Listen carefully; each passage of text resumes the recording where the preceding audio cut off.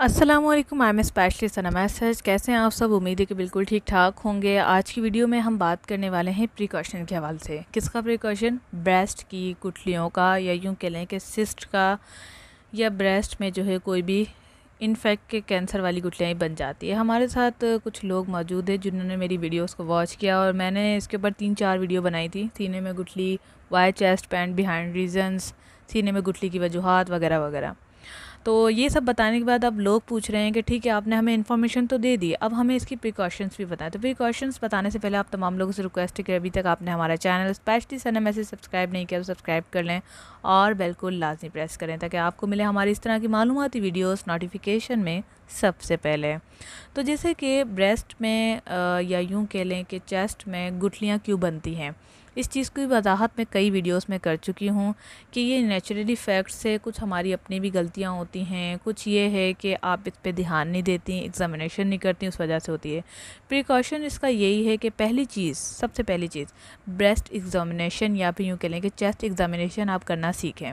इसका तरीक़ाकार इंटरनेट पे बहुत सारी वीडियोस में अवेलेबल है और आजकल इसकी अवेयरनेस जो है बहुत ज़्यादा आ रही है। इवन के अगर आप अपने मोबाइल की टून भी देखें तो अक्टूबर के महीने में जो इसे सेलिब्रेट भी किया जाता है कैंसर के हवाले से डे मनाया जाता है और इसमें बताया जाता है कि आप एग्ज़ामिनेशन खुद से करें। पहली चीज़ प्रिकॉशन ये है कि आप इसका एग्ज़ामिनेशन लाजमी करें। अगर आपको कोई गिल्टी या फिर सिस्ट या फिर कोई चीज़ महसूस होती है, उसे इग्नोर ना करें। उसे फौरी तौर पर आप फोकस दें और किसी अच्छे डॉक्टर को जाके इसे दिखाएँ। अगर साइज़ बढ़ रहा है तो फौरी तौर पर इसे निकलवा दें और इसकी एग्ज़ामिनेशन करवाएँ। यानी कि आप इसे देखें और इसकी टेस्ट करवाएँ कि ये क्यों हो रही है और ये कौन सी वाली है। दस किस्म की जो है हमारी गुटलियाँ हमारे जिसम में पाई जाती है, जिनमें चर्बी की गुटली भी शामिल है और कैंसर की भी।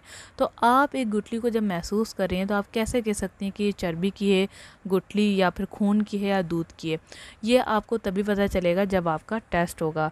तो टेस्ट ज़रूर करवाएँ। आप, ये मेरे हाईली रिकमेंड है। मेरे पास बहुत सारे केसेज़ आ रहे हैं। कि हम आपको डबल फ़ीस देंगे, हम आपको ये देंगे, हम आपको क्लिनिक आ जाएँगे, आप हमें इसका इलाज बताएँ। देखें मैं इलाज तब बताऊँ ना जब आप लोग इसका एग्ज़ामिनेशन करवा के आएँ।